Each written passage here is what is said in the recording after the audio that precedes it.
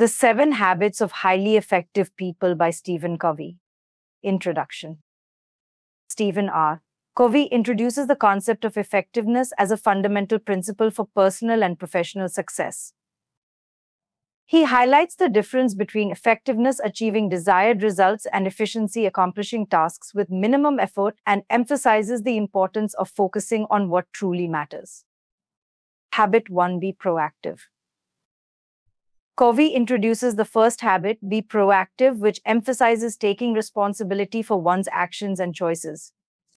He encourages readers to focus on what they can control rather than reacting to external circumstances.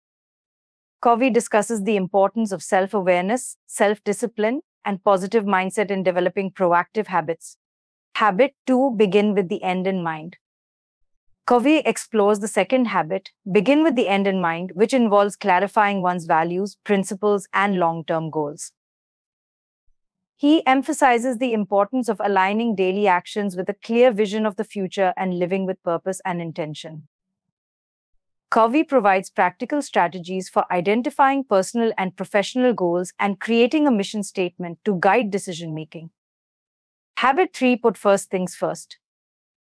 Covey introduces the third habit, put first things first, which involves prioritizing tasks based on their importance and urgency.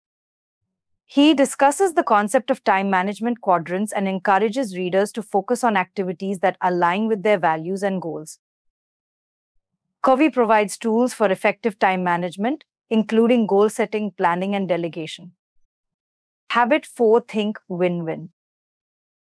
Covey explores the fourth habit, think win win, which emphasizes seeking mutually beneficial solutions in interpersonal interactions. He encourages readers to adopt an abundance mindset and to approach relationships with empathy, integrity, and cooperation. Covey provides examples of win win thinking in various contexts, including business negotiations, family dynamics, and team collaboration. Habit 5 Seek first to understand, then to be understood. Covey introduces the fifth habit seek first to understand, then to be understood, which emphasizes the importance of active listening and empathy in communication. He discusses the barriers to effective communication, such as assumptions, judgments, and cultural differences, and provides strategies for overcoming them. Covey highlights the power of empathic listening in building trust, resolving conflicts, and fostering meaningful relationships. Habit 6 Synergize. Covey explores the sixth habit, synergize, which involves leveraging the strengths and perspectives of diverse individuals to achieve collective goals. He discusses the principles of synergy, including creative cooperation, collaboration, and valuing differences. Covey provides examples of synergy in action, such as team brainstorming sessions, interdisciplinary collaborations, and community partnerships. Habit 7 Sharpen the Saw.